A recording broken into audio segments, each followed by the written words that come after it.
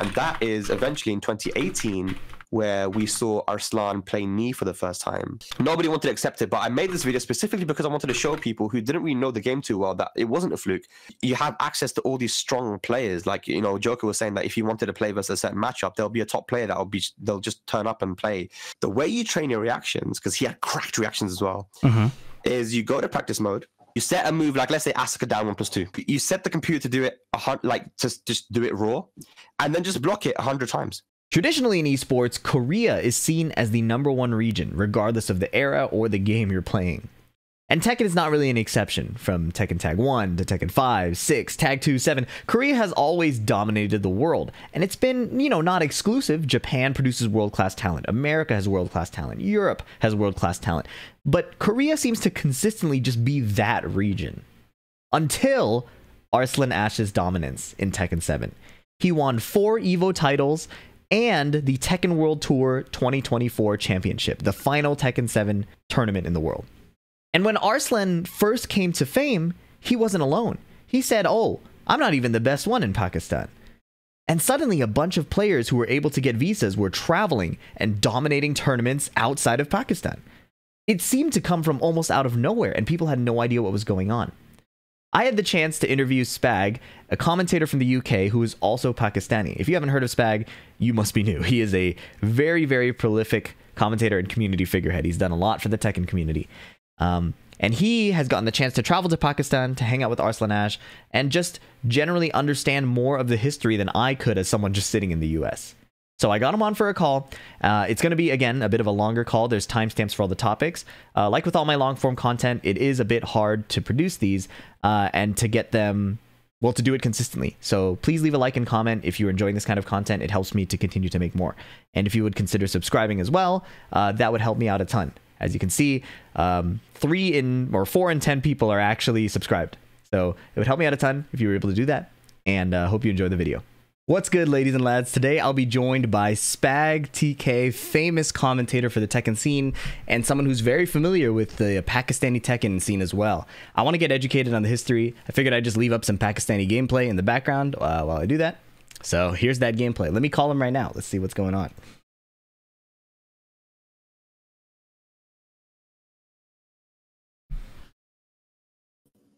Yo. Yo, what's up, Spag? Welcome. What's good, man? How you doing? Good, good, good. Thank you for uh, hopping on. No, no worries, man. No worries. Um, yeah, so I don't have a good structure for anything I was gonna ask, but I, I basically, I, I'm kind of, you know, I'm a Tekken Seven kid, so I, I came in. I mean, I've played the other games, obviously, but more or less, my esports knowledge starts at Arslan exploding onto the scene in his. So, uh, so when did you start. Tekken Seven? I started Tekken 7 uh, right as it came out. I was playing Law. They released Noctis. I played him for like a month, and then I just started playing League of Legends again. So I didn't really compete or get involved until I would say 2019, 2020. Oh, okay. Oh, ah, I see. I see. All right. So like, basically, when Arslan started to join the scene, Evo and all that stuff. Yeah, exactly. So I came in at the time, and I've pieced together some small things. Talking to other people, I've heard from the past that like you know he had been to tournaments before. That wasn't necessarily his first big tournament. Like people knew his name, but certainly to the mainstream, he was a brand new face, right? Uh, yeah, yeah, yeah, definitely. Um, yeah, we got uh, well, okay, yeah, we got a lot to talk about then. I, I didn't know that you started in 2019. I think a lot of people did actually. There's a lot of people that I spoke to that started in um, around that same time as well. That was actually for me the golden year of of Tekken, and it wasn't just because of Pakistan. I just think that it was it was like the game was in a good place. I think competitively we were kind of getting used to Tekken World Tour now. Um, we had an idea of who was doing really well, and I traveled all over the gaff as well. Went everywhere. It was it was a good year, man. Yeah, yeah. No, that's Yeah. phenomenal. Um, yeah. So I guess can you tell me a bit about more of that? I guess the golden year of Tekken Seven. This was season two, the Kazumi season. Yeah. So okay. So 20, 20 Okay. So I'll I'll start with. Many people probably don't know when Arslan kind of first, um, you know, got onto the scene type of thing internationally, right? Right, right. Um, so there was actually a tournament in Malaysia, Okay. Um, and obviously at this point, you know, I know that um, the, obviously I've known for a long time that Pakistan is really strong at Tekken, and I've been watching them, you know, play Tag 2 Mhm. and um, you know, we had a player called Asim, who you might have heard of. Uh, how can he I spell was I A S I M. Oh. Asim A- Asim was one of our strongest players. Uh, he was the best in Europe for a long time, European champion. But he was actually from he's actually from Pakistan, and he was the Pakistani champion. And having spoken to um, having spoken to like Arslan and Bilal and all these guys, I was like, okay, so who was the best in Tekken Six? You know, when uh, when Tekken Six, and and they agreed, yeah, Asim was the best. He was beating all of us. Him, Asim, and a guy called Awais Liaquat. They were the best in Tekken Six, uh, to the point where Asim was telling me stories about how him and Awais would be on one side of the arcade, and the rest of the arcade would be on the other side, and he'd they they take them out. wow. Who was the other champion? What, how do I spell his name? His name is Awais. I'm going to type in the chat. Yeah. Should Okay, yeah, that's perfect. That's perfect. That'll save a lot of time for me. And how do you spell that? How do you spell that? How do you spell that? yeah, yeah. Oh wait, this is his name, and he's actually playing now too. Okay. Um, you might have seen him if you watched the takedown event. He doesn't play a lot, but he got. He, I think he got top eight, and he beat C. He almost beat CBM. He was that final final pixel. Guy's really really good at Tekken. Um, anyway, Asim moved to um to London in 2008 or something like that. I don't know. And there were tournaments which you can see on YouTube. Actually, if you Mhm. go to YouTube and you write Tekken London, one word, you will find these videos of him of him playing. No one knew who this guy is. We think obviously in London, yo, we're sick, man. Yo, Tekken London, bro. Come, who's this new guy? Who's this Pakistani guy, bro? yeah. This man took out all of our top players, Starscream, Dinosaur, all the legends. They rigged the bracket to try and get him to play against our top players, and he didn't care. He played Eddie, Miguel, Bob. He just he cycled through his characters and just destroyed everybody in London. And This London was Tekken 6? this is Tekken 6, and you can watch those on YouTube. They're on YouTube. And um, we're like, what the fuck, man? What's going on? Like, who, who's this guy, man? Um, and everyone was shocked because, like, you know, at this point, we're thinking, like, yeah, damn, we're, we're the best. You know, Ryan Hart, Dinosaur, like, we're really good. But Right. they, they, he's beating over. And what this guy would do is he would enter, he would take, so you'd get like an arcade stick, 200 pounds, and a trophy for winning. Uh He'd take the money and he'd throw the trophy in the bin he didn't care. He, he kept winning every week, so he would just throw the trophy away. Go, I don't want this, and he just take the money, you know. and so, and then, and that's when he told us that, by the way, you think I'm the best? I'm not the best in Pakistan. No way. There's a there's guys there better than us. Okay, and we're like, okay, so im- imagine now the people in Europe or UK specifically, we know that Pakistan is ridiculous at this game. Okay, Okay. because of Asim. Now the rest of the world doesn't know. And uh, you know, I've met Asim. I'm, I, I live close to him. You know, we're good friends. nice. Uh, Asim actually uh, competed Tekken World Tour 2017, 18 a lot. The reason Okay. why you probably haven't like heard of him too much is because you started in 2019. right. But actually, he was um, very close to qualifying uh, for T- Tekken World Tour multiple times. He just wasn't able to because he had a Pakistani passport. Yeah. He wasn't able to travel to some tournaments. but um, you know, he's still really good, and he went to versus fighting last year and beat Anakin. You know, Oh my goodness. He- Okay. he okay. Put, put him in, put him into losers, and the guy doesn't even play the game. You know, yeah. Asim's really good. So yeah, like he's still playing, and he says he wants to play Tekken 8 as well. But yeah, um, yeah, that was that the versus fighting last year. You know, it was I think it was for top eight um, in in winners. I think winners quarters. He beat he beat Anakin, and you know the, guy the guy's just really good. And so, so he just says he said to me a long time ago, I don't lose to Jack because you know we had so many Jacks in Pakistan in Tekken six and five and stuff. Like I don't lose to Jacks, and he, I, it- there was a whole thing like there's a tournament that I ran with someone called Lions Den, which was the biggest tournament in Tag Two in Europe, and uh, we tried to get people excited to watch it by getting you know some call outs, you know some drama, and As- uh, Asim actually called out Anakin. That video is also on YouTube, and everyone's like, "Who's this Asim dude, man?" And like Bronson was like, "Oh, you guys suck." And Anakin's like, "I don't know why you're calling me out," you know. And there's a whole thing because people didn't really know each other that well in Right. Tekken Tag 2, you know, from America and Europe. One of my goals in Tekken 7 was to try and bridge the gap between USA and EU. Yeah. And, you know, I think I, I, I actually I feel like I did that, you know. oh, I feel like, you know, with the- Yes. the EU versus NA beef as well. You know, that was part of that journey of kind of bringing us together. You know, um, but yeah, like it was funny to see that match actually happen last year right. between Asim and Anakin. you know, Yeah. because it- there was a whole beef between them, like in Tag Two. And I Um, remember watching very recently at the uh, the New Orleans finals, the at the local before where uh, uh, Atif played Jack, and I was like, th- "This Hmm. looks very like, like, like it looks so, it looks so natural, right? Like I'd never seen the Jack before, of course, right? And then Yeah. seeing that come out, I'm like, oh, this is, this is really, really cool to see. This is, this is incredible. So that little bit of lore uh, checks out, Yeah. I guess. Jack in Pakistan is everywhere, right? Yeah. if you go to yeah if you, again like the what's fun uh, we'll, there's a lot to talk about actually but um I'll, I'll, I won't I won't jump too much because it'll get confusing but yeah Atif playing Jack you know this guy's Mokujin man like I, when I went to Pakistan I was able to beat a lot of people like they they weren't really ready for my Eddie but Mhm. uh, there was a few people that I obviously couldn't beat and that was one was was Arslan obviously like well with him I, at least I got a few games um and I, you know I do pretty I do, I do okay against Arslan but of um Dawood and Atif were the two guys that just beat the shit out of me, man. Like th- those guys, man. Every time I was a min- uh, like a pixel away from beating Dawood, like he would just make a comeback. I, d- I just didn't know how to beat him.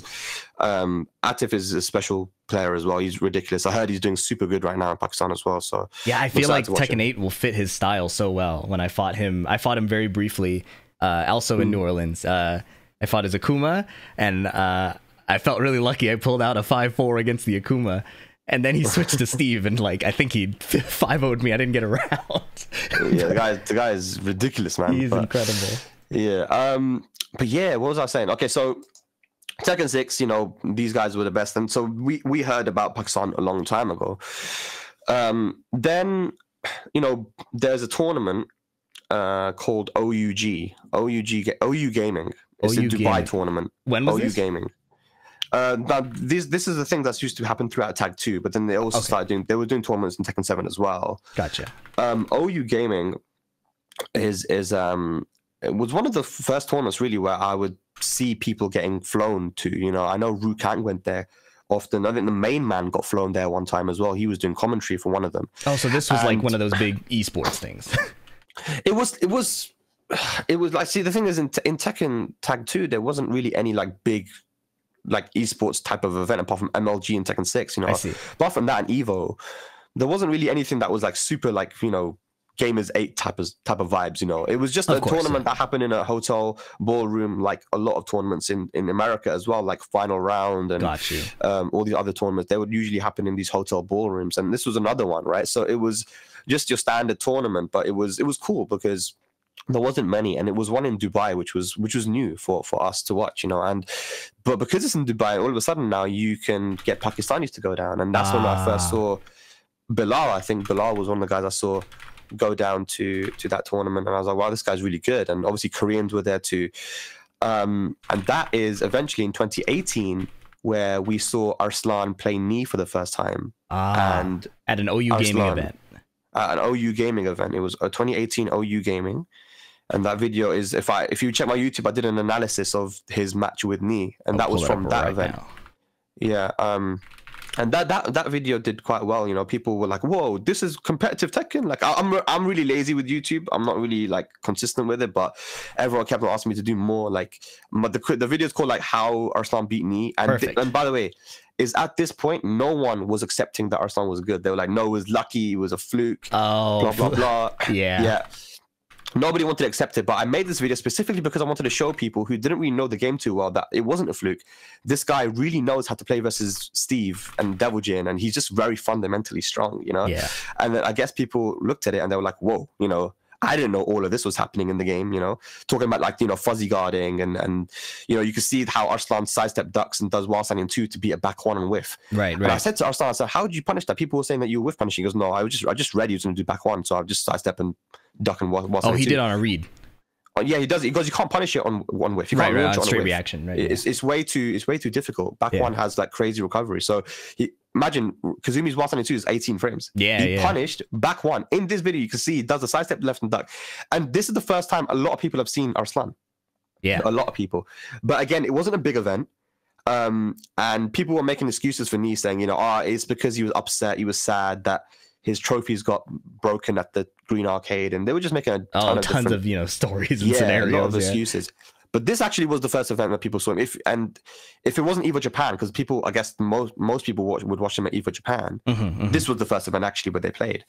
Um, so yeah, uh, that that's that's cool. But then there's also the the guy I told you about before, Awais Liaquat. He was actually the first one to play internationally at a tournament called WCG World Cyber Games, which used to happen back in Tekken Six. Ah, And um, yes, I yeah, remember he- the name.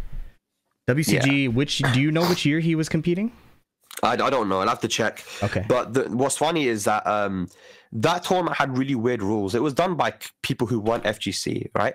Yeah. So Awais Liaquat actually went down there and um, he chose, uh, I think he, he chose a character uh, in the first stages of the tournament to play because he played a lot of characters, right? Mhm. And when he tried to, when, when he won and he went to the next game, the next match, next next round, he tried to pick his main and they said, no, you can't. This is character locked. Oh, So it's the oh. stupidest rule ever. It's a character lock tournament.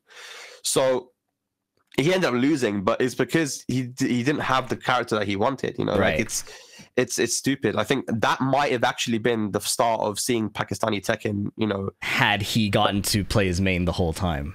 had he gotten to play his main, and and you know that might have been the break of the Pakistan, but he didn't get to, unfortunately. So That is so unfortunate. It's, it's pretty sad, yeah. But you know, it is what it is. But uh, things worked out in the end anyway. But yeah, um, that's just a little yeah bit of information to know. And a lot of the stuff I t- um, that I find out either from talking to Pakistanis, I find out from them, or from Asim because he just he knows everything. You know, he's a, he's a part of he was a Pakistani champion, knows a lot. So this is the kind of information I'm giving you. But Yeah. yeah, um, yeah, this this tournament here, OUG, was where we first saw him, and then he beat, uh, beat Knees Steve quite convincingly. Yeah. Um, and then he went and he switched to Devil Jin, and then he beat his Devil Jin, so it was 2-0 for Arslan here. And then in the grand finals, he just didn't know what to do, so he picked Claudio. So Knee got to grand finals, um, and and had to face Arslan, but he played Claudio, and then he lost 3-0. like, I don't know, I don't know why he did that, but. Yeah, yeah. That, this is the first time we see it. And he is part of V Slash. You see V Slash, you know, big part of, you know, Arslan's rise here because, you know, they they trusted him. They're like, they obviously know that Pakistan is really strong. V Slash is also based in Dubai. Okay. So, okay. You know, getting these Pakistanis, I think OUG, this this tournament is was was very important to the to Pakistanis getting out there, you know. Right. Um, And this and is it doesn't happen now. It doesn't happen now, but the, the organizers are still around. I see. So yeah. And this is before or after that Malaysia tournament you said uh, Arslan was at. This is actually before. Oh, so after. This is after. There was a Malaysia tournament. So I tried to find the tweet here, but it's funny because uh, actually I think it was after. I'm not sure yet. I think it was after. Okay. That would make yeah, okay. Yeah, I think so. I'm not sure. It might have been before though. I have to find out. But there was a tweet from because I knew that Bilal and Arslan had gone here to that to that Malaysia tournament, Okay. and um, I saw a tweet from Giuna because he was there too. Saying, Oh. bro, there's this Pakistani guy beating the shit out of all the Korean and Japanese players in first attempts. And I'm like, that's Arslan. That has to be Arslan. So I tweeted, I'm like, this has got to be Arslan. I'm trying to find the tweet because I know Giuna tweeted, he's like, dude, there's this Pakistani guy right now in the casuals before this tournament beating everyone. He just beat he just beat John Ding 10-0. He just beat this guy like and so and, I, and in my head I'm looking at that tweet and I'm like, yeah, that's that's got to be Arslan, right? I think I Yeah. made a tweet as well. Uh, then in the tournament, I think Bilal got top eight, but Mm. Arslan got ninth. He Okay. actually played Nobi and loses, lost, uh, beat his Steve really badly, then lost to his Dragunov, two straight. Ah. This was so, So- so I'm looking at this OU gaming one. This is season 1, right? With the orange health bars? It might be season one. Yeah, I'm, I'm, I have to think. Oh, look, they're on the camera. Oh my goodness. Yeah, you see. oh yeah, yeah. So Noctis and Geese. And uh there's no blue health bar yet. I think that's like so pre wall bounce or something. was that season two? I think House I think this is season Did they change the health bars in season 2? Does my chat know? I think when I think of season 2, I think of the blue purple. So I see the orange and I'm like, "Oh, this must be season 1." But Bar? Um. Yeah. I'm. Hang on. What's for Arslan messaging me right now? oh, wow. Uh. perfect. yeah. Uh, it was. Uh, yeah. Yeah. Um. I think it might have been season one. Yeah. Gotcha. Um. Okay. It was. It's. It's mad funny as well because. Um. Because. People. People d- d- like were really downplaying Kazumi. Um. Actually, it, I have to find out when this event was, OU Gaming, because I know that 2018 Tekken World Tour Finals, which was in December, uh, I think players had dropped Kazumi because um, they dropped Kazumi because of the season two changes. Ah. In season one, she was like, you know, I know that one guy, Take. Take was a Kazumi player in season one, uh, Take from Japan. He dropped Kazumi in for the Tekken World Tour Finals and started playing Paul. And then as soon as Arslan won Evo Japan, everyone went back to Kazumi. Like, yeah, it's it's weird. People really they don't re- really know characters too well unless they see tournament results with them. Yes. I think people need to stop looking at tournament results and start using their brains when it comes to character strength. And I completely unfortunately, agree. not many people do that. Yeah. and so if Ta- I was saying, man, if Take just used Kazumi, he would have done really well. But he switched to Paul and lost. And now when Arslan won with season two Kazumi, everyone's like, "Wow, Kazumi's strong. So Kazumi's OP." But before they were like, "Oh, she's weak now. She's bro. She's done now. Season Mm. two, she's dead." Oh, it's whatever. But yeah, uh, I think this might have been season two. I'm not sure. We'll have to see if Gotcha. someone knows about this. Yeah, season two is blue purple. Okay, we'll see. Um, either way, he won this. He won this event, and then uh, Malaysia ninth place, losing to Nobi. Um, but then yeah, Evo Japan. You know that was the event. So Arslan. Um, at this point, I haven't really spoke to him, but Asim told me in tag two, um, word for word, he said to me, Hassan, if if people, if if Arslan, this guy Arslan, this kid, if he plays versus the Koreans, he will beat them. Now, half of me was was thinking he's he's uh, this is in tag two. He told me Uh-huh. half of me is believing. Do you know what? I don't. I don't believe you because the Koreans were so dominant in tag two. JDCR literally literally won everything. He That was, their untouchable. game. That was their game. That was their game, yeah. So I was like, I don't believe you, you know. But the other half of me is Asim doesn't lie. He doesn't exaggerate. He doesn't. He doesn't oversell. He does. He hardly even rates people. Mhm. He's not the type of person to say, "Oh, this guy's good," you know. He'll just say, "Oh, you you know." He won't. He won't be arrogant. But he'll just be like, "I don't think this guy's that good," you know. But he's he kind of. It, it takes a lot for him to rate someone. So when he said that, I'm like, well, this guy must be serious, man. Right. Like, shit, you telling me this guy's gonna be Koreans? And of course, now we know what happened. You know, he Yeah. wasn't lying. He wasn't. Te- he wasn't. You know, bullshitting. Um, that's why I really, whenever he tells me something, I really listen. You know, Mhm, mhm. if he tells me he'll beat Anakin, and he's not, he's not worried because it's it's it's Jack and whatever, and he goes and does it. Like this guy backs up his words. You know. Yeah. So, yeah, so th- that was that was interesting. And then Evo Japan. So before Evo Japan, Arslan, that's the first time we've actually talked. You know, he he met, he DM'd me, and his first DM is, "Hey, my name's Arslan Ash. Maybe you've heard of me. I beat me." and he's like, um, Bilal told me that you can help me get to Evo Japan. Can you help? I'm like, yeah, I can help you. I go, by the way, I do know you. I've known you for a long time. He's like, oh, okay, cool, man. and um, and then uh, he got, he basically needed help because he needed an invitation letter, and he wasn't, and it was really difficult to get one because Japan, you know, it's not just you know Markman and the rest of the people that are organizing this. Is that you have to think about the Japanese organizers, right? So, and, and it's difficult to communicate, or whatever. So, um, he needed the invitation letter for the visa. and That's quite normal. And you know, Arslan just messaged me now, and he's he's asking for an invitation letter for for other tournament as well that he wants to go to because it's it's because with the Pakistani passport, it's one of the worst passports in the world. yeah, that it's is, like it is bottom so- five. the hardest matchup in the Tekken scene for sure, right? Like, yeah, it's it's like bottom five. Like it, it's it's I, I think it's even worse than Syria, man. Like it's just bad, Mhm. you know. And and uh, getting getting places, you're always going to need a, a a a visa. Yeah. Um, and I think it, Dubai is like the easiest place for them to go to, but even then, you probably need one as well. But so. anyway, brutal. he asked me, and I said, "Yeah, sure." And I was helping him to try and get one, and um, it was taking a long time. And he said, "You know what? I just need to make my I need to do my application now." Um, so he did it without the invitation, and it got declined. Ah, His visa to his visa to um, Japan got declined, and um, he goes, "I'm going to give up. There's no point." I go, "No, no, no, don't give up." I said, "We'll get the invitation letter. Do it again. Make another application." He goes, "Okay." So we managed to get him the invitation letter finally, and on like the final day, he does the the the interview and everything, and it got accepted, which was awesome. And then Yeah. you know the story from there. You know, he the the, the journey to to um, Japan was very difficult for him. an absolute nightmare. That story alone made me the biggest Arslan fan before I even like watched the gameplay and knew what I was looking at. Right, I was just like. I can't even play a tournament if I miss like an hour of sleep, and you're telling me he did all that. Like, Yeah, but when you see the the the condition these guys play in, you'll understand. Mate, me and Joker went to Pakistan and we went to the Maniacs arcade, and this is not even in the summer. This was like September. Now these guys don't have AC. They don't have air conditioning in their arcade. They have a fan. but it's like a tournament, a dojo event. Me and Joker entered. Mhm. 130 people in a small arcade. It is blistering hot, and you know within like just five minutes of playing, I've already got a headache because I'm dehydrated. Oh my god. Uh, it's it's incredible. Like the, the, these guys play in those conditions every day, you know. And imagine being a being a Pakistani, you know, if you can become the best player in Tekken or even up top 10 or something and you can travel international and compete you're able to make enough money to live very easily you know the average salary in pakistan is $200 a month you know um 200 $300 a month. If you're winning a tournament which gives you a thousand to us that's nothing. For them that's a lot of money you know? Yeah.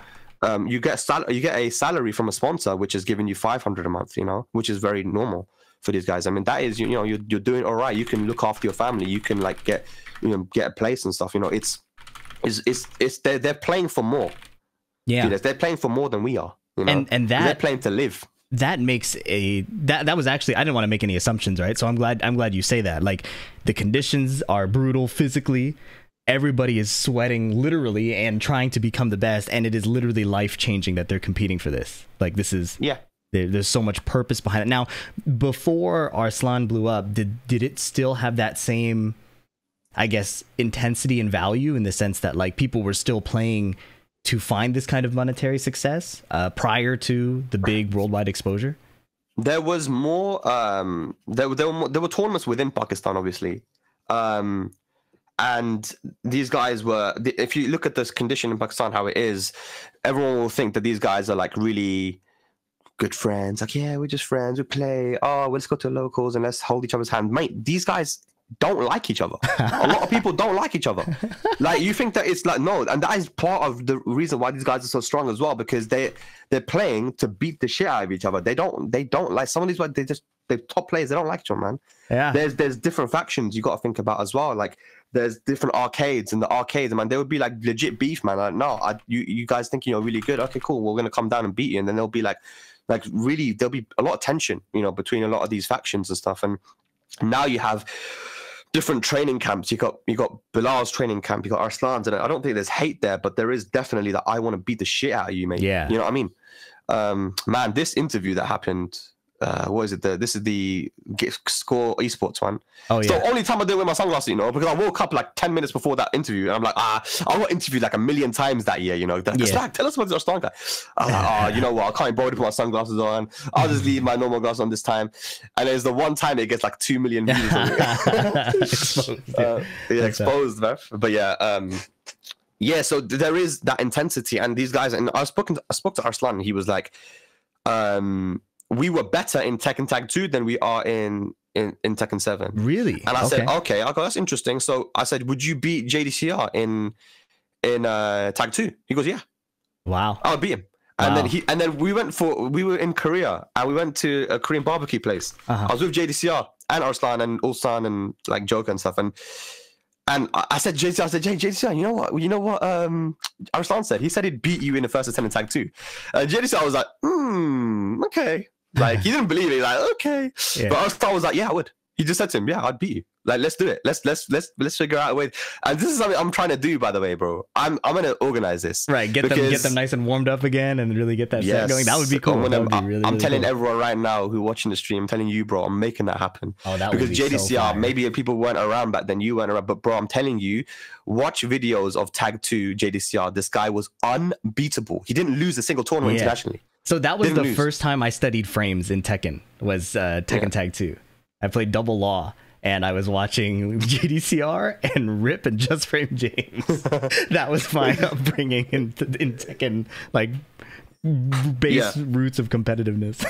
yeah, same, bro. We uh, when I started uh, competitive for the first time, it was Tekken Six, and I was watching Rip J- um, Just Frame James. To this day, Just Frame James is still one of my favorite players ever Yeah. because he's just so creative. yeah, no. His, his stuff in Tag Two is, is, is insane, and he was beating Koreans in Tekken Six as well. It's Yeah. crazy, but yeah, like yeah. So these guys were very strong in Tag in Tag Two and Tekken Five. You know, Tekken Five was a game where they were all really good. Asim was telling me that, you know, um, there's guys like legends of the past that were that contributed to. Pakistan being the way that they are now, there's a guy called Atif. This is like really like fucking. work. I'm getting into like some shit that no one knows. Yeah, outside of Pakistan. Yeah, yeah. The guy called Atif, not Atif, but I think Different think it's a Atif. different Atif. This guy, so in Tekken Five, Pakistanis were like super good at Tekken. They're still as good as they are now, maybe better. Right. And in Tekken 5, there was a character that was broken beyond belief. And that character was Steve, Steve 5.0 Uh, Steve? 5.0 Steve. Um, you know, his ability to be able to just kill you with one side step and a one, two, one or whatever. And, you know, th- that, that character was just like very, very strong, right?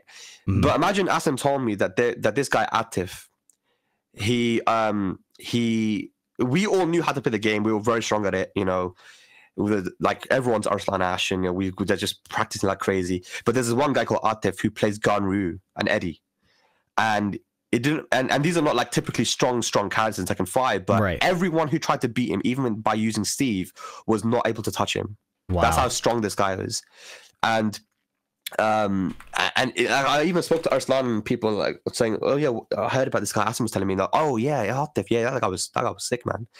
Um, so he that this is like some mo- more information just to let you know that there were guys, you know, who like you had that crazy level of defense in a game which is more which is like broken basically. You have Yeah, characters yeah, that are broken, and they just weren't able to uh, they weren't able to touch him.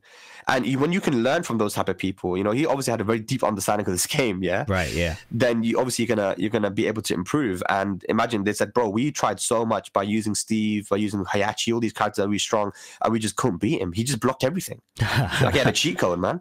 He just blocked everything. And and yeah, so like it's it's crazy. Um that you have these kind of people in the past that and it makes now it kind of makes more sense why these guys are so strong. If you just have these really talented players you, uh, one player can really bring up a community. Right. you look at like thailand for example. Thailand i think has become very strong now with the multiple players but i think having someone like book yes. is really important because book is even telling me that he what he's doing now is he is uh, playing against people who are in thailand who are not typically strong but Yeah. he's making them strong He's leveling he's up the teaching them. community, yeah. He's leveling them up because he said, I'm playing Street Fighter 6 now too much because no one is playing Tekken 7.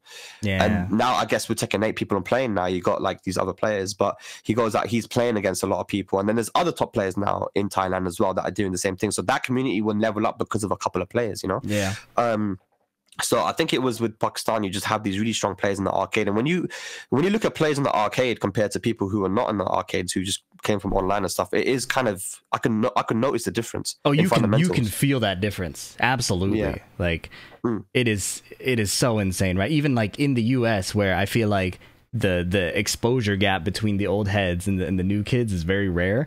You fight somebody who came from the offline era and it is a noticeable difference. Even if I'm winning, there are so many times it feels like there's this poise. You know, there's this there's this quiet composure that is just so strong and it's like it, it- it's weird. It's like an aura. Yeah, and it's because and I asked asked him like, what is what is the reason behind that? And he goes, look, when you have a coin, yeah, Mhm. and you're a kid, you need to make sure you ain't got that many coins. You got to make sure that coin goes as far as possible in an arcade. You know, you're gonna put that coin in, and that's your turn. If you lose, that coin is gone, and you now have to wait and play again, and like wait for your turn again, and you're gonna be salty because you just lost. But um, you put that coin in, and you try to win as many games as possible. Yeah. That you have, you basically let that coin go as far as possible. It's it's a different type of environment, isn't it? Yeah. So that's essentially what's what's um what's happening there and you know you want to make sure that you preserve your coin and then you have like the the the, the whole rivalries between the players as well i think that the situation in pakistan is that way um and you know, I think Kokoma is is in a chat as well. He went to Pakistan. You got to experience, you know, kind of the the the way that these guys play. And uh, when I first went to Pakistan, when um, when I went there to for for Tekken for a Tekken trip, I went there and I saw him. I went to Arslan's gaming um, his his boot camp, and he had his team Ashes people there, right? So imagine you got Atif Butt, Dawood, Sajawal, you have uh, who's a top Yoshi, Mhm. you have all these play ARC who is who was definitely the best Eliza player in the world at the time. Even Kira said, yeah, he's better, better than me. He's the best. Plays Miguel as well. Black Farzeen, you have all these amazing world class tournament champion level players, and they're chilling in one room. And Yeah. when you play and Joker, we, we arrived at twelve. Okay, um, Qasim Qasim Mir picked us up, right? Mhm, mhm. Made us breakfast. So now it's 1 a.m. and I'm like, bro, I'm going to sleep, man. I'm tired. And then Joker's like, cool.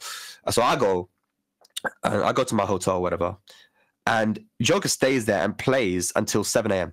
Jeez. non-stop. And he goes, you know how it was when you play? You play, you play first to 10, first to 20, first to 30, whatever. Mm-hmm. That guy gets up and lies down because there's a fucking bed in his, there, there are beds in the gaming room, in, in the thing. So these guys sleep, wake up, Tekken, sleep, eat, wake up, Tekken. That's what Wow. they do. I literally saw a guy, he was sleeping. I don't even know this guy's a top, some top Asuka player. He's just sleeping. He gets up, he kind of washes his face, he plays some Tekken, he eats and goes back into the bed. That is- you know, just that's how they play, man. so Like, bro, can you- incredible.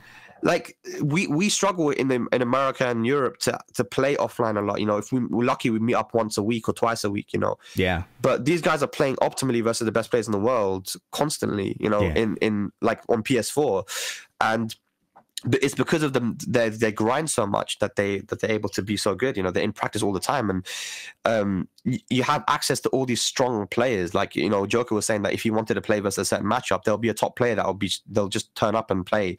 And if you have someone like Atif and Dawood who you can play with all the time, you can learn so much. I was I, I was there. I learned a lot as well. I mean, I'm Yeah. I wasn't even there to play Tekken. I was there to do other stuff, but I was there and I played like long sets, and I was like, wow, I'm I'm learning. And Dawood is like super good as well because he'll he'll like talk to you and let you know like, okay, you need to do this, you need to do this, and it's it's sick, man. The environment. You should definitely go if you have the opportunity. to. Yeah, you Um, know, like that. Man, that is so so so cool. Uh, Yeah. I was I was and that's saying, why that's why I uh, told that's why I told um Kokoma that he needs to go. You know, Mm. he he needs to go there, and he did, and he he trained a lot, man. So it's um, it's it's crazy, but yeah, when it comes to um to the way these guys play, it's very much like there's a lot of emphasis on reactions, which we don't have. I feel like in in uh, Europe and in America, we don't talk about reactions a lot, but in Korea and in Pakistan, they talk about it a lot. I told this, I said this to, to, to Joker, I said this to um to Gosain and stuff as well. Like th- there's there's a big emphasis on reactions and and and you know all that kind of stuff. And if you look at Knee, I I I, I interviewed Knee in Thailand. Uh, said, what do you think about the Pakistani play style? This was in 2019, right? So they, it was the Tekken World Tour after Arslan won Evo twice, and he's like he feels like Pakistan is a lot about space control. Like they don't they don't do a lot of sidestepping, but they have amazing, crazy pressure by with their space control, and their punishment is perfect. Um, they they just punish really well on whiff and on block, you know, and they'll they have great space control, you know. So, and I agree with that for sure. I definitely agree with that analysis. But they but they also have crazy reactions because they're playing all the time, and you'll notice actually if a Pakistani player doesn't play for a while, and I noticed it was Asim, it's so clear. He hmm. becomes one of the best players in the world if you if he's playing all the time. If he stops playing, this guy he just becomes a scrub, man. It's so weird. Because if I don't play for like a month or two months or whatever, I'll still pick up the game and still be able to beat people. Because I don't really emphasize my uh, react reactions too much. I just Yeah. emphasize more kind of matchup, mind game, that that that, type of stuff, right? Yeah. Um, whereas these guys are just looking out, they're trying to, you know, react to everything. All sign is similar as well. Ulsan, LowHigh. These guys, Yes. have cracked reactions, but their reaction time isn't actually better than our reaction times. It's just because they've got themselves accustomed to the um to the moves, right? It's I did a reaction owned, time yeah. test with these guys, and I I actually beat Ulsan and LowHigh. You know, Okay. Yeah. Yeah. Yeah. but but it's not. Uh, but they've trained their reactions versus. I mean, that's what Pakistanis do too. Mhm. You know. No, the sense I got too yeah. is it's so deeply instinctual. Like their their eyes see something on screen, and there are so many layers of built-in muscle and like neurological memory that we Yeah. just do not have meeting up once a month for six hours when they do that every day, like it's just another day at work. You know what I mean? Mm, Yeah, yeah. You're playing all the time, and and, and I, every time I ask Asim, because I have to ask him multiple times, like, dude, like, why are these guys so good? He goes, Hassan, they play all the time. They're Mm-hmm. Yeah, yeah. always playing. They always play. Like they play, play, play. And I'm like, but I'm thinking to myself, but, but people in Europe play a lot as well. Like They do, yeah. we, Europeans, we play yeah. every day, but it's like, but it's different. These guys are playing offline in that environment, um, you know, and they're specifically training their reactions. Ju- I'll tell you right now that I've asked Pakistanis how they train their reactions, Mhm. and uh, they wouldn't tell me. Some of them wouldn't tell me. But I asked Awais Liaquat because he's a very nice guy. And he was the best in Pakistan. No one could touch him. There's videos of him beating Arslan as well in Uh-huh. Tag 2 on, on, on YouTube. If you're at Awais Liaquat versus uh, uh, Arslan Ash, you'll actually also see a season one Tekken 7 tournament where Awais won with Josie versus Kazumi in season one. Um, so Awais Liaquat, uh, he told me because I, I, I was with him um, when I went to Pakistan a couple years ago. He said the way you train your reactions because he had cracked reactions as well Mhm. is you go to practice mode, you set a move like let's say Asuka down one plus two. People say it's reactable, but it's kind of on the cusp, you know. Maybe that move that's like 21, 22 frames. Right. you you set the computer to do it a hun- like just just do it raw, and then just block it a hundred times. Just block it. But Zafina down three, same thing. Just block it a hundred times in practice mode. Wow. You don't have to change the timing. Don't do any of that. Just literally have the computer do the move and block it a hundred times. One, and then two. You just you just do it. You keep it. Just getting it. your eyes to look at the animation. No timing change. No like uh like anticipation. No dashes. Just literally looking at the move. Yeah, just looking at the move because you're not trying to. The timing changes. That that stuff don't matter. It's all about um, the only way you can react to these moves is by understanding the animation. Once your eyes understand your animate the animation of the move, your your your muscle memory is going to start to kick in, and what you did in practice mode a hundred times in a row is going to start to work. You know. Now I did this, and Kwis did this as well because I told him about this, and he said, "Bro, when I did it, I I blocked every Zafina down three." Yeah. Yeah. And then he goes, but when I stopped, when I when I stopped training, when I stopped playing against Zafina, and then I came across Zafina again, then it became difficult. He It was gone. Ah. So it's It was gone. it's it's only it, it, it exists within that culture of we play every day. We play this long, and it, Yeah, they I mean, they it. play for hours, like ten, yeah, ten hours a day versus multiple characters. That kind of grinding, you know, that's for them. Is this is their job, you know? yeah. So they're playing constantly, and um, because of that, they're constantly in practice. That means that if Arslan doesn't play for a while, you know, if he's not, if he doesn't, if he stops grinding for a bit, all of a sudden he's going to find it very difficult to, to win. But when he when when he grinds, you can see the difference in his game style. You Yeah. can see the difference in not just him, but other people. Bilal is exactly the same. Like Pakistanis, doesn't matter who, because they all have the same culture. They say they have the same uh, approach to Tekken, right? So if any of them stop playing for a while, and I've seen this with Asim because there was a moment where this guy was the highest ranked player in Europe. He stopped playing for a year because he had some personal problems. This guy was struggling at Vanquisher, Makers are Tekken Seven or Tekken Tag Two. Tekken Tag Two. Yeah, Tag Two. Wow, Yeah. that was my But- peak but- rank. That's crazy. He he struggled at Vanquisher, and I saw him and I beat him, and I'm like, this can't be Asim because his name, his his tag on um on Steam and on PS was Lahore champ, and I'm like, this this can't be Asim. Like Same city as Arslan. It's yeah, they're all from Lahore. Yeah, Awais Liaquat, Arslan, they're all from Lahore. Yeah, um, Atif Butt's actually from Gujranwala, which is my mum's city, which is Oh, okay. the city neighboring to Lahore. So Pakistan is the two Tekken playing nations. Those uh, cities of Pakistan are were just Lahore and and um, and Gujranwala, but then you also have Faisalabad, which is where I think Dawood was from. And you got some other top players from Faisalabad as well, really strong players. That's actually the city where Awais Honey apparently learned how to play um, Akuma with the down twos and stuff. Uh, I can spell it okay. to you, don't worry, I can spell it. That's the second city. Thank you. Yeah, this is this is the city of Atif where he's from. And these And are the the, reason two why Atif, big yeah. Tekken cities. So yeah, you have Faisalabad as well, which is that guy, um, the first city that that guy posted. Oh, okay. um, that also has um, you know good good players. Faisalabad, a lot of lot of good players from from that city. But Gujranwala is like yeah, some really good players. There's even a Dragunov player that moved, a young guy um, from Gujranwala to UK. He's studying studying here.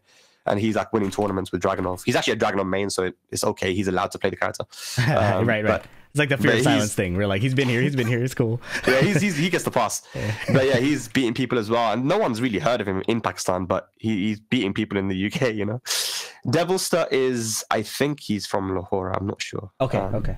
But yeah, there- you know, anyway, there- it's those three cities that you know mainly the cities that people are playing. Um, but yeah, yeah, I mean, Pakistan, man, that's that's how it is, isn't it? And there's so many players. Um, even now, there's like young players, and that's the thing. When when me and uh, Ulsan and CBM, everyone, we went to that tournament takedown. Um, they got to see how the community is. Like, um, there was that that takedown event. We had a a well, there actually wasn't any sign up limit. Well, there might have been. It, I think we had a cap of like 500, right? But 500. Um, you know, we thought, okay, they're going to sign up. It's free sign up, by the way. So we're guessing that people are probably going to DQ. We're going to end up with 300 people, right? Right, right. But we didn't end up with 300 people. They ended up with all 500. with a waiting list of 100 or 200. So there was a potential 700 people that were going to turn up to one tournament in Lahore, right? Mhm. Which is insane. Yeah. Um, so you look at um, when Ulsan saw this, he said to me, "I understand now why Pakistan is the best and why they're probably likely to con- continue being the best. Yeah. It's because you guys have so many players and you have younger players.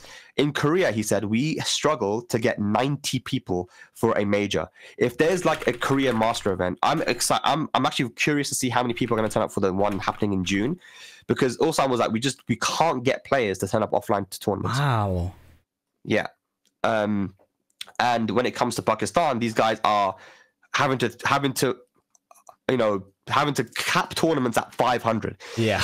Rip and Rip and Steve have been to uh, Rev Major. Unfortunately, there's no Rev Major this year, but I've never been. Right. But I, I heard that it. Yeah, I heard it's so crazy that you know when you have these kind of Tekken personalities, like commentators or you know wh- whoever you know like uh, players, you'll you'll have these uh, people from they're so passionate. You'll just get people con- constantly asking you for autographs and pictures and stuff, and it's like a good vibes.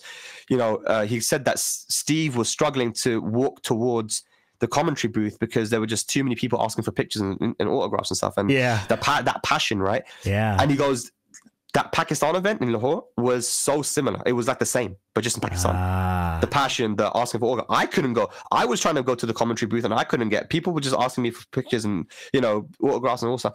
It's very similar. And with with the amount of these guys were cheering in the crowd for for the tournament, like it's he goes, it was Rev Major vibes, you know. right. So yeah, like it's um, these guys are passionate, man. This is so incredible. And I'm learning so much too, right? I'm so uneducated. So I'm so great you were sharing this. I was looking up the population of Lahore is 11.13 million and Seoul is uh, 9.7 million, right? Mm. So so it makes sense not only just there's such a huge population. One of my big theories, I think, on like um, successful esports scenes is just uh, straight population density. Like how how many gamers can you put in one area who really really care, right? and like Yeah. uh, you describe the arcade scene, you describe the beef, you know, the passion for fighting over like just the one coin you get to play in the arcade or the you know the few coins you have, Mm. and with the greatest like the the the, the explosion in popularity, how this is a life changing opportunity to become good at Tekken. Like that is Yeah, it's life-changing. It's very intense, man. You they're playing for more. Like I said, they're not playing just to be the best and and and and have that kind of yeah. I, I'm playing for my legacy, so people remember me. Like it's not even about that. They're like I'm playing for my fucking kids, bro. I can feed my kids. I can feed their got- kids. yeah, you know a lot of these players. You don't know they're married. They have kids, man. Yeah. Like you know, like multiple these players. I did, I was like, damn, I didn't even know. Sometimes they're like, oh yeah, I didn't even know this guy was married and had kids. But it's you know in Pakistan the culture is also you get married quite young as well, and it's like part of the culture Yeah. um it's, it's common to get married. My, my cousin he's not even living in pakistan. He's just pakistani living in birmingham and he got married when he's 18 you know like it's it's it's common you know to get to marry young and and it's seen as a really good thing too. Like it's it's um like you see what arslan when arslan got married recently like he, he was telling me that like man it was the best thing that could have happened to me like i Yeah. got this really supportive wife now and and all the pakistanis when i talk to them you know they say that yeah just just the best thing that you can do you the know, really Tekken good- buff too. Crazy. yeah, the buff, man. so it's uh yeah, it's it's a big thing. These guys are playing for more, man. And um the other thing that I didn't that I didn't mention, which I mentioned before when I've done interviews about on this, is like the reason what the reason why Tekken and it is is a big thing in Pakistan is because those were the cabinets that were brought down to Pakistan by arcade owners because they were cheap Mm. the, uh, the Tekken and KOF specifically were cheaper and easier to get a hold of back in the old arcade era. Uh, those those arcade cabinets were a lot less expensive than Street Fighter. Street Fighter was apparently ex- very expensive. You, you know, it was difficult to get your hands on a Street Fighter cab. Um, but Tekken and KOF were cheaper to get a hold of, and and because of that, you know, you look at places like Mexico. Why do they play KOF? Same thing. You know, Ah. KOF. It's this poor country, but KOF is um, it was an it was an easy cabinet to get hold of. They were cheaper. So the arcade owners, they're business owners at the end of the day. They're trying to make money. They don't want to spend too much. So you have Morocco, which is a, a poor country as well, relative to like you know Euro, other European countries, and you know Morocco insane at KOF. You know Pakistan insane at KOF. Yeah. Um, Mexico. So all these uh, all these places, and then you have um, Peru, which which is like this really strong Tekken playing nation, and you have Pakistan. Pakistan is also, you know, strong Tekken playing nation as well. So like those cabinets were a lot more, um, a lot more uh, cheap you know, to get a hold of. Um, and then I guess um, in the end, like even like now, for example, if you go to the arcades, there won't actually be cabinets. There'll be makeshift cabinets these guys built out of wood and stuff, and then they'll just put like a console inside or Yeah. a PC or whatever. That's kind of what you, you don't need to do more than that. You don't need to you don't need to buy a cabinet anymore, and that's why in Tekken Seven, it, the the the um 7.0 came out on the arcades because they actually Namco mentioned that they used to make uh, m- half or more of their money of their income from arcades, and then the other half came from console sales. Gotcha. Whereas um, now, that, I mean, it doesn't make sense, does it? Because of you know PC and you know I think things have moved on. They, this is the first time Tekken's been released in its 0.0 version on on on um, on console instead of being on the arcades. I see. I see. Gotcha. Um, Mm, I asked it briefly, but I wanted to double check. Um, you said, like we talked about, like the salaries and the monies they were the money they were competing for, um, and clearly in Tekken Seven that's a big thing. Was this an incentive that existed back in Tag Two, back in Tekken Six, or is it something that's pretty new relative to Arslan's come up? I think at the end of the day, um, it it would have it would have existed then as well because uh, even though tournament prize pools weren't amazing, they they were trying to go to Tekken uh, international Tekken Tag Two tournaments. I see. So- okay. Okay. Okay. There was a tournament Head Stomper. 20 you know I, you might have heard of it head stomper Yeah, it's Head like one of the major and that's been happening since tag 2 um and i've been going there since tag 2 one of my favorite tournaments. Um head stompers in sweden and sometimes it happens in denmark. Then malmo in sweden and denmark are like right next to each other anyway. They're like neighbors. So uh, they switch between the two but normally it's in sweden. And there was uh this time it was in sweden 2015 i think Mhm. in tag 2 and i didn't know but Qasim mir he actually he actually signed up for that tournament Oh, back in Head And- Stomper in Tag Two. in tag two, but he did his visa application, and um, I guess he was waiting for his visa, whatever. He had every intention to come down, but then he didn't bother to check if his visa got accepted. It did get accepted. Ah. But he just assumed it didn't get accepted, Yeah. and then he didn't come. But Oh. again, another opportunity for a and you know who else was at that tournament? Ooh. JDCR. Oh man. He was in Europe, living in Europe with Kuiper at the time. Wow. So when I tell you that there would have been an opportunity for an, a you know a, a Pakistani to make a uh, make a scene and shock the world, that would have been another opportunity. Um, and because JDCR was winning everything in tag two, he won that tournament quite easily. Uh, sorry, Fergus, he he beat that ass man in grand finals. Um, but you know, it's it was normal. We, we we see this guy in grand finals of a tag two tournament, he's going to win. But Qasim beat JDCR in, in, in at Rev Major in Tekken Seven. So I, I would definitely feel like this guy has the skills to do the same thing in tag two as well. you know? Yeah. So there were multiple opportunities for these guys, and they were trying to come down to tag two tournaments. And I think going somewhere like Evo, you know, you, I think you still win a decent amount of money, especially for Pakistan. You know, like as a Pakistani, that money goes a long way. So yeah, that that passion to to compete and to get good.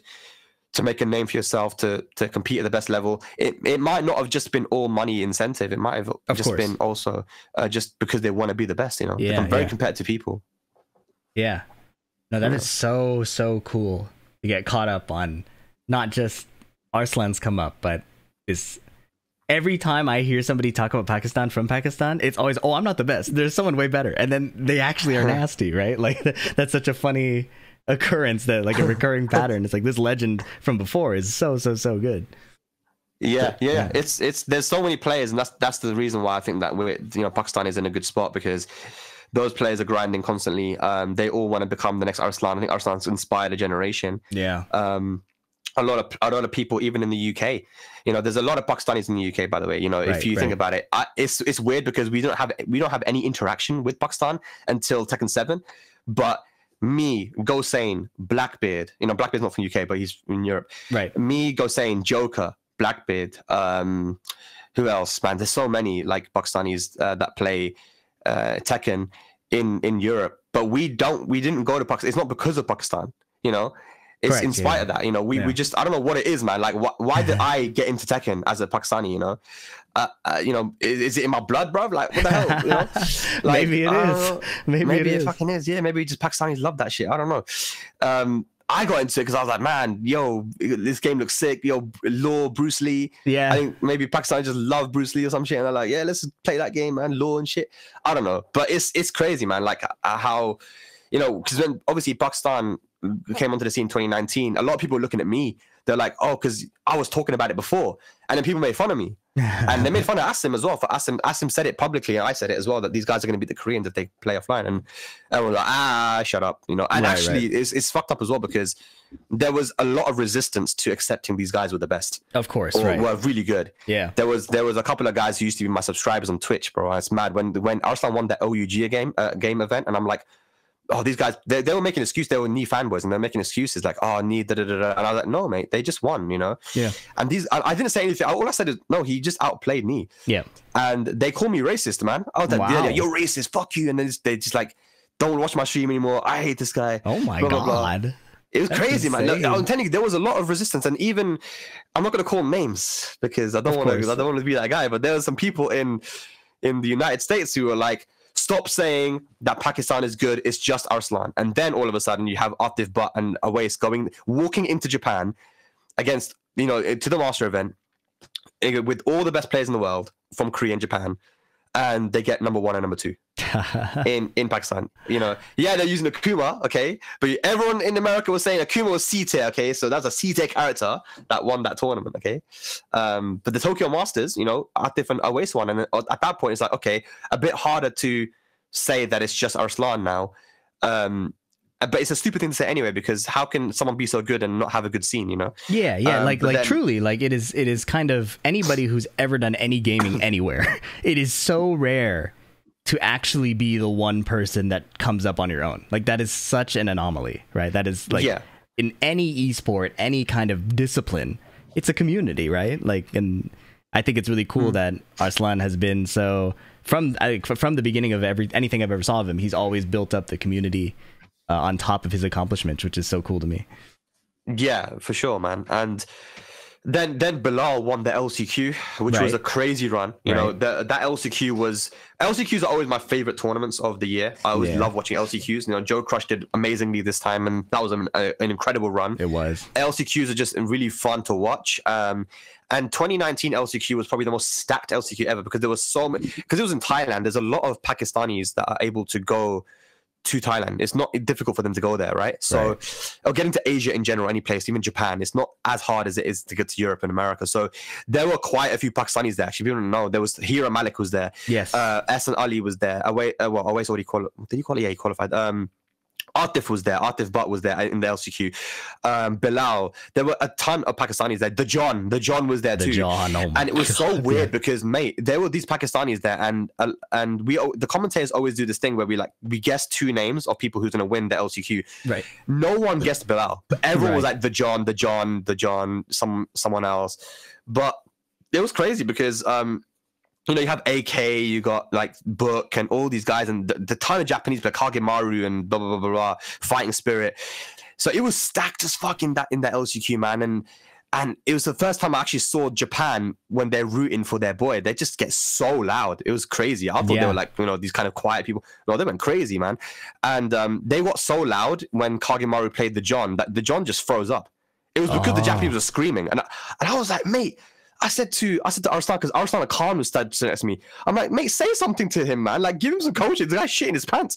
And they're like, oh, okay. Like they they weren't really experienced fee when it comes to tournaments. You know, like international that kind of environment of an international being behind you uh, and they're screaming for the other guy and there's like this kind of rowdiness like m- maybe that happens in the arcades there but like when it's international they kind of just rose up a bit It's so different still- when it's international. Oh my goodness, really it's so different. And that's what they weren't used to in 2019 they weren't Yeah. really used to it too much you know and uh yeah so i think um you know they've learned a lot and to, to this point now we fast forward to 2024 these guys have obviously won so many things now and they've they're definitely used to that you know we saw what happened with Farzeen as well when kaiser played him you know like Yeah, yeah, everyone yeah. was screaming and you know you you americans are rowdy man you get you get loud for your boys which is cool isn't it but yeah these guys they'll, they'll learn and i hope to see more pakistanis that um you know, young guys traveling, hopefully with second if they get sponsored and stuff. It was really funny fighting Farzeen because he's the one that eliminated me from that same tournament, and we Mm-hmm. were both so nervous because I had that was my first major, so Mm-hmm. we were both such a we were both so green and i could feel like the mistakes we were both making we were both just like panicking and like shaking and uh, you know we shook hands after and we were both like oh my goodness what did we just do it was such a funny experience yeah, yeah, that guy is good, man. Farzeen, you know, like he's talented, and and you know he's he's he's doing good now as well. He's not even playing the Akuma. People say, oh, he's only winning because of Akuma. He's actually doing pretty good now as well without Akuma. Anyway, he's a strong player, man. So I personally yeah. love to see that because I was a big Akuma hater, but I love to believe in the players being able to adapt. Like I love that story, right? Like you know, I, I was a Noctis player, so people were always saying the same things. So I appreciate when Super Akouma is doing well on Lee. I appreciate when uh, all these other players are switching off and still finding success. That's really cool to me personally. You know. Yeah, yeah, yes. It's it's good, man. At the end, end of the day, like I guess we're, we're realizing that there had to be some degree of fundamentals, even if you're playing a Akuma. You, know, you have to yeah. be able to duck strings.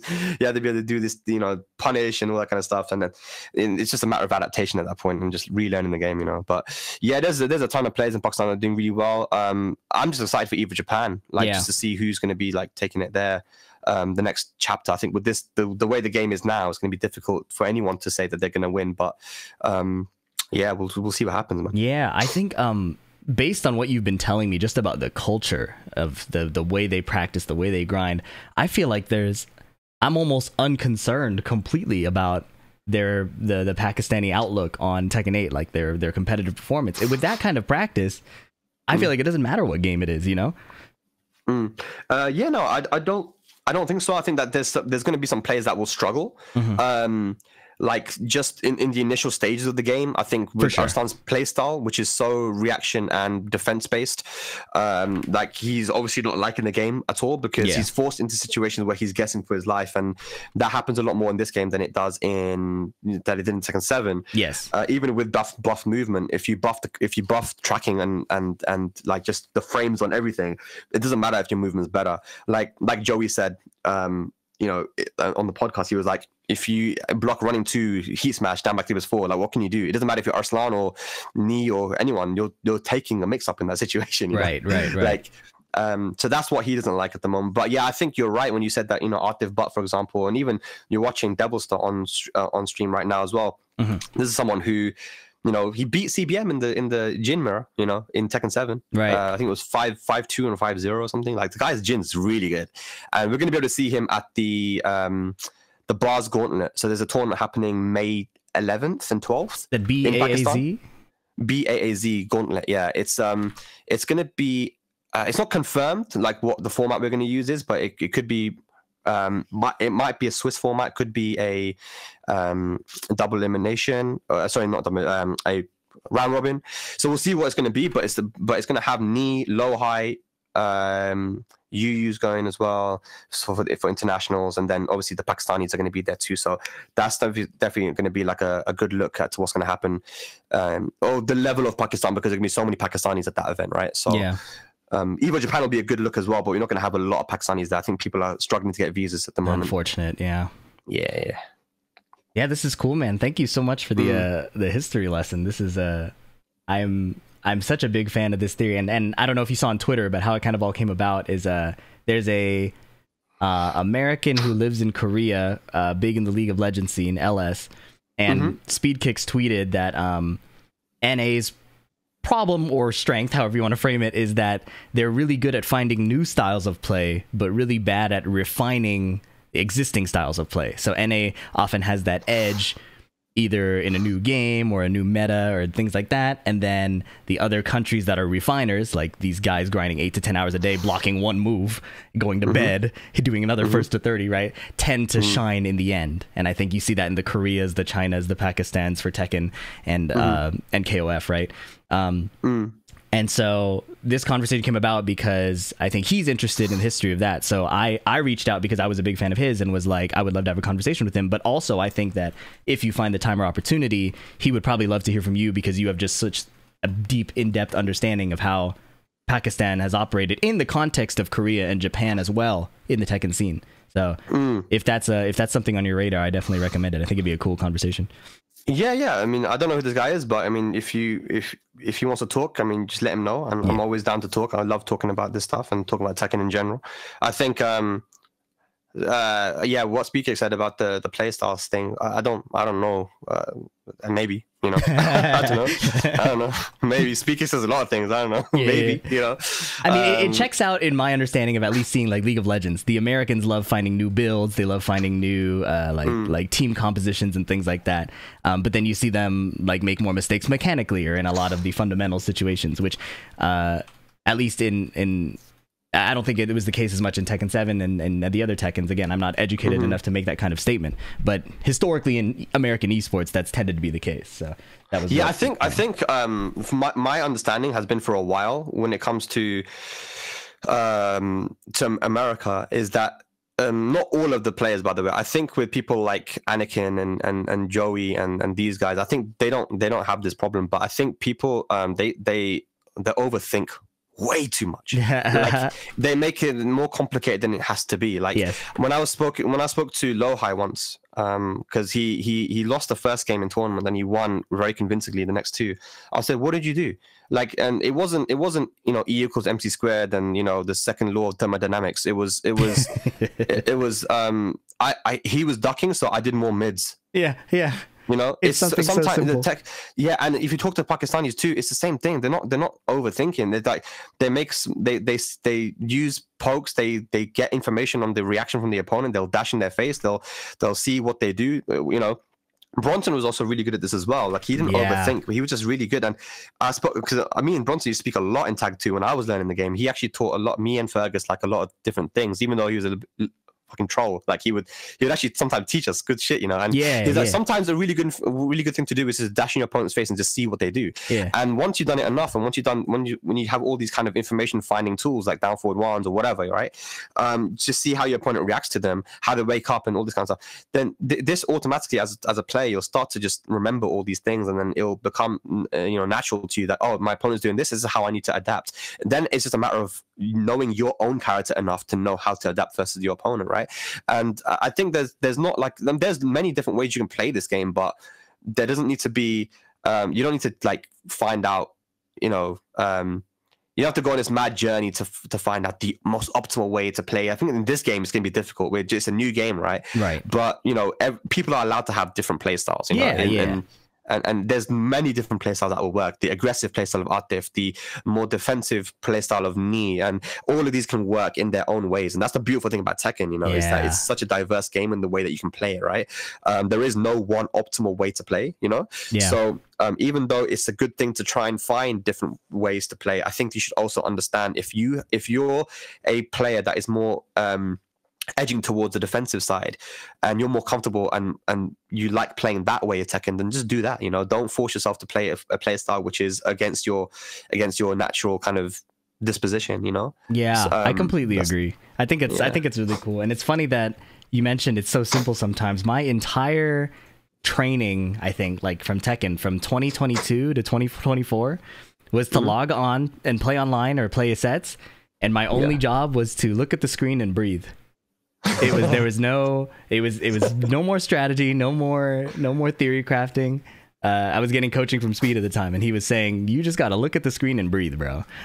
Mm, yeah. and, and that changed everything. That was the first time I started like winning things. It was like you just gotta trust that you are building up the skills you need to, which is what you know these Pakistanis and Koreans are doing with their reaction practice and the straight up experience, and then letting that letting your body carry that experience, right? Because the brain slows you down, you know. Mm. And so I think that's really really cool insight that you've added to that. Is that really you're in a fight, you just gotta fight, you know? yeah, yeah, you can't you can't overthink, man. You overthink and you're gonna start hesitating and stuff. Yeah. You know what I mean? Like, um, yeah, yeah, you're right, man. And I think you you would have noticed when once you stopped overthinking certain situations and you just go in there and you just do your thing.